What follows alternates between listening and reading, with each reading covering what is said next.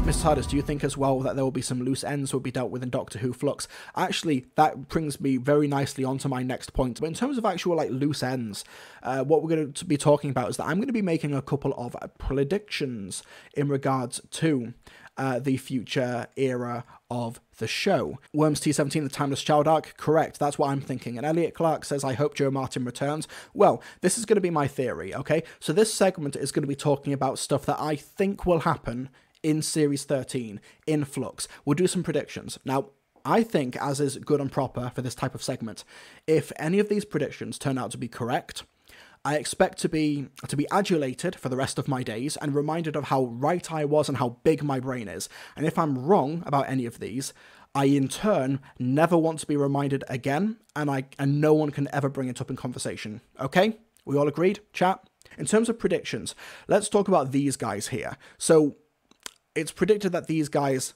uh, are either the Ravagers or the Swarm. Either way, we know that these two, according to an interview with Chris Chibnall, have a past with the Doctor. But of course, we've never seen them before. Lovely. Chat agrees. They pre- they they uh, preemptively agreed. Lovely stuff. There's me abusing the 20 second delay. Thank you so much, folks. Mwah. Love you all. For these two uh, here, we've seen them in the trailer. They've made uh, kind of like minimal appearances elsewhere, though we still don't quite know who's playing them or the identity of the species. But with that clue, that apparently they have had issues or they've had encounters with the Doctor before. My theory here is that we are going to get a resolution for the Timeless Child. But I think what's happening is that these are creatures from another dimension who have had a previous encounter, an altercation with the fugitive doctor. My theory is that these villains, these creepy dudes, have a vendetta against the fugitive doctor, who is a doctor from an alternative universe, an alternate universe, an alternate timeline of a doctor who never ran away from Gallifrey. I think that the Ruth Doctor, the fugitive doctor, is a doctor who, instead of leaving Gallifrey, worked for the Celestial Intervention Agency. And what happened is that that doctor is the timeless child.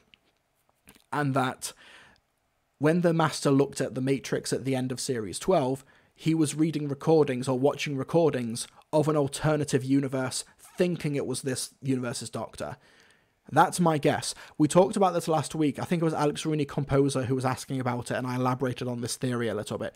But I think the idea is that the Fugitive Doctor is an alternative universe Doctor, because the big issue with the Fugitive Doctor being a pre Hartnell Doctor is that it kind of makes sense with the exception of the fact that the fugitive doctor, when they were on Earth hiding from the Judoon and from and from from Gat, is that she had a blue box TARDIS.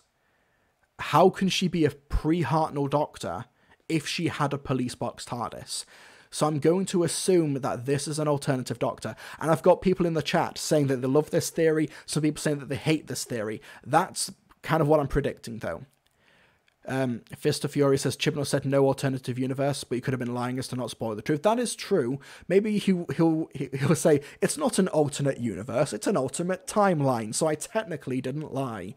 Uh, and Vanilla Extra says I still believe in the season six B theory. To be honest, possibly, but I still think that season six B that is such a that is such like a nut prediction that post war games is going to be canonized to like the Morbius doctors, it would that would make sense though. Like if the Morbius doctors are canon, then technically anything is like on the table here. And ST says Occam's razor because the audience would instantly recognize it. That's true. Having the TARDIS, having the blue box be the thing that the Doctor, the thirteenth Doctor, digs up from the dirt in front of the lighthouse is a good visual indicator, visual shorthand to the audience that this is the TARDIS. Like if it was just the the default cylindrical TARDIS that we've seen in books and comic books, and um, for example, like the default TARDIS shape. You know what I mean? The cylinder. We saw it in the name of the Doctor when we flash back to the first Doctor, and Clara tells him to get a different model. We've seen all that. Sign of the Apocalypse says honestly the police box thing was probably an oversight, possibly, but it's a it's a very important oversight. It's something that if it is a pre-Hartnell Doctor, it can't be a police box it defies comprehension. And if it was like, if it if if it somehow was buried underground and was like, oh, the 13th Doctor is here, I better turn into a police public call box. Surely that's something that Ruth might have noticed or mentioned. Like, wh- like maybe she doesn't see it when it's being dug up, but when they're on Gat's uh, spaceship at the end and they have the encounter with the Judoon, shouldn't she be leaving the TARDIS and going, huh, that's a weird shape for it to take. Why is it? Is this something to do with you, 13th Doctor? Obviously, not that exact line. I think that the flux could be some sort. The flux itself could be some sort of rip in space time or something. These are creatures from an alternative timeline who have been like leaking through. Maybe the remnants from the planet Desolation were involved from, you know, Series 11. They were the ones who first coined the term the timeless child, at least on screen. So I think honestly, like I said, this is just a theory. If this doesn't happen, I'm not going to be upset. If this does happen, I'm not going to claim to be the smartest man in the world. Aidan Woodhead said, imagine Jo Martin saying that line, cringe. No, she would pull it off. She would make it work because 90% of the Fugitive Doctor's dialogue in Fugitive of the Judoon is just variations of shut up, stop talking, cease and desist. And she was still considered by many people to be an incredible Doctor performance through sheer force of will. Just stand there and don't ask questions. Let me do the talking. Shut up. Do not get involved. Shut up. I told you to keep quiet. Don't you dare. Will you be quiet? I know. Shut up. So yeah, she would make that work. Sign of the Apocalypse is fair enough, but the idea of the TARDIS changing just to mess with the Doctor's mind would be hilarious. Yeah, the TARDIS is just really messing with the Doctor's mind. Mark Patrick, I thought they might be the creatures from Spyfall. That's true. Maybe they have come from the Flux alternative universe. Maybe they even showed the Master the alternative. May- yeah, that makes sense. Actually, this is making more sense the more I think about it. Thank you so much, chat. This is why I like having you folks here. Because, yeah, um, the creatures from Spyfall were working with the Master so it makes sense that maybe they're like, oh, we're going to help you destroy Gallifrey. But while you're here, let's show you the past. Let's show you the secrets of the Matrix. And they just showed the Master the secrets of the past, the Doctor's past, from their universe. That would make sense, actually. Joshua Carpenter says if this is planned all the way from Kasaavin in Spyfall, Chibnall's been doing some big brain plays. Remember the uh, Ghost Monument, the second episode mentioned the Timeless Child. I even did a theory video about it back in the day when that was first shown, when I thought it could have been Susan Bloody Foreman or Ace, you know, the predictable theory, you know. If they started filming this in late October last year, we're talking, what, so March, April, May, June, July, August, September, October. We're talking seven to eight months of Chibnall taking any feedback or taking taking on board a post timeless child environment and having because we know that the original plan for series 13 was not the current plan because they had to change everything you know they had to change the idea of uh, of like Pete McTighe or was it Pete McTighe or was it um Ed Hime who had scripts on their CV, scripts that they had for Series 13 on their CV.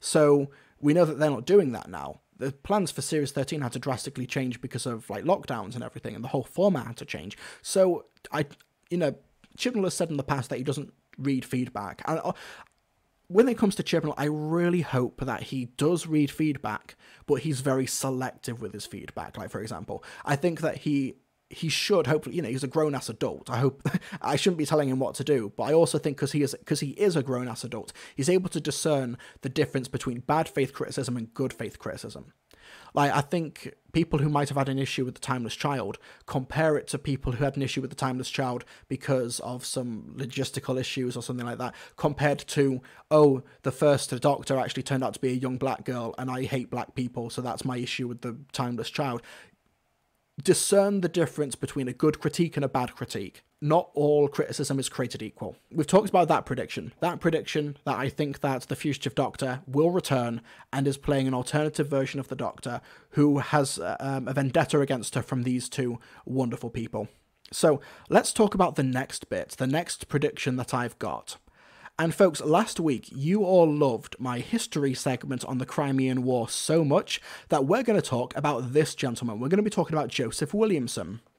So, here's the interesting thing about Joseph Williamson.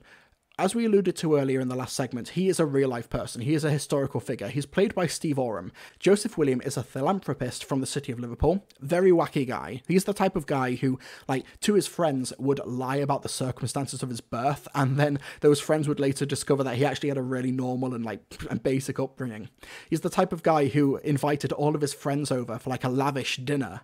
And he says, Come, come to my wonderful estate because we're going to be having a wonderful feast only for his friends to be served with porridge and biscuits. So when the first group left, like, oh, we came here for a feast, like, let's go. When they left, um, Joseph Williamson actually unveiled to the people who were still there an actual feast, and it turns out he was testing his social circle to find out who his true friends were.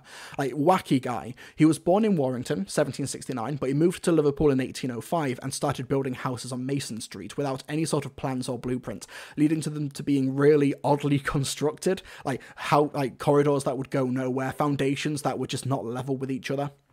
But he was mostly well known for being nicknamed the Mad Mole because of his tunnel digging operations in Liverpool, and it was thought to be brought on by grief when his wife died in 1822, and he did numerous excavations in Liverpool.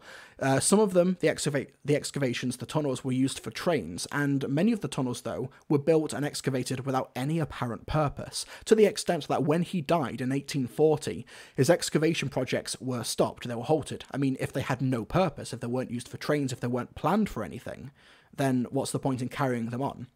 Now, what an interesting guy. this guy's mad. In a good way, I guess. Eccentric is what we'll call him. And I look forward to seeing what Steve Oram brings to the table.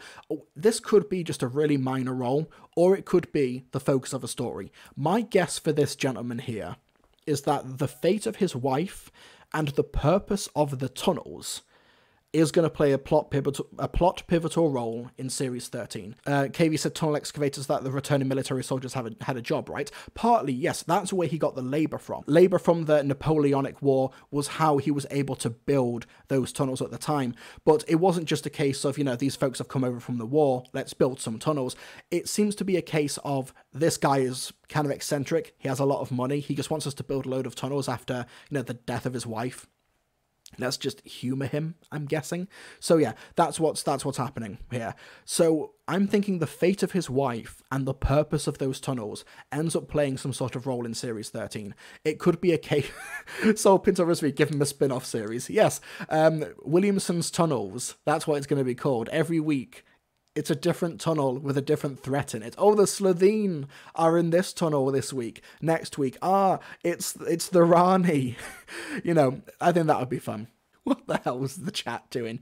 Harry Dunnican Williamson is the War Benny. Here we go. That's absolutely it.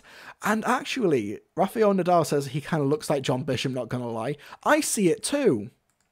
I see that too. He does a bit. Yeah. Maybe he's a des- maybe um, Dan the Plasterer is a descendant. This isn't quite as uh, specific a theory as my last one, but I do like the idea of like the tunnels are actually harboring weeping angels or something, or the tunnels are actually a construction base from um, for the Crimean War because Joseph Williamson was building these tunnels uh, from 1822 up until his death for 1840. So that's an 18 year period where he was con- continually excavating tunnels underneath Liverpool with no apparent purpose. So it's way before the Crimean War. It's like 15, 10 to 15 years before the Crimean War. So I actually think it could be a completely separate thing. It's hard to know. It's what he's known for, Joseph Williamson. Like, he's literally known as, like, the Mad Mole or the Mole of Edge Hill or the king of Edge Hill. You know, the guy who's known for all of these titles. It makes sense. Um, or Tom Mason put a Macra in the chat. Okay, Macra underneath the Liverpool. If that happens, I will be so happy. I will be very happy. I will be very blessed.